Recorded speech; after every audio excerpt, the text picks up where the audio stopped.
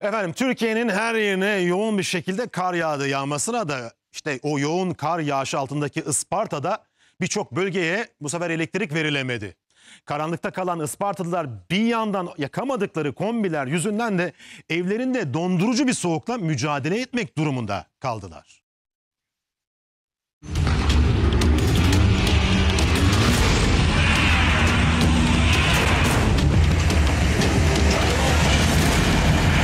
Gibi soğuk. Ufak tüple çaydanlığın üzerinde ısınıyoruz vallahi. İki aylık kar iki günde yağdı. Isparta karanlığa gömüldü.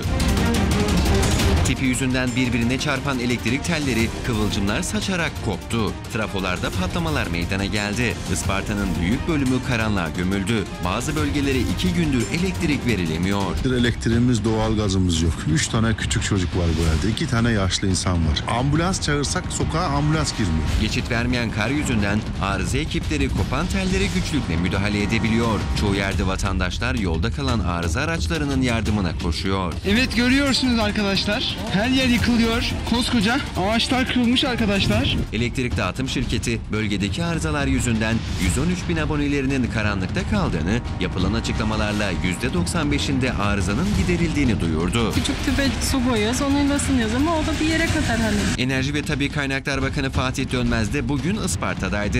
Onun gündeminde de yaşanan kesintiler vardı. Halen karanlıkta olan 20 bin abonenin sorununun giderilmesi için çalışmaların sürdüğünü söyledi. Üç tane indirici trafo merkezimiz var Isparta'yı besleyen. Bu trafo merkezlerinde arızalar oluştu. Enerji ve elektrik kesintileri de yaşanmış oldu. Ara sokaklardaki çalışmaları inceleyen Isparta Belediye Başkanı Şükrü Başdeğirmen, elektrik arızalarını gidermenin yanında kenti susuz bırakmamak için mücadele verdiklerini söyledi. Yerden bizim bastığımız su pompalarına elektrik yok.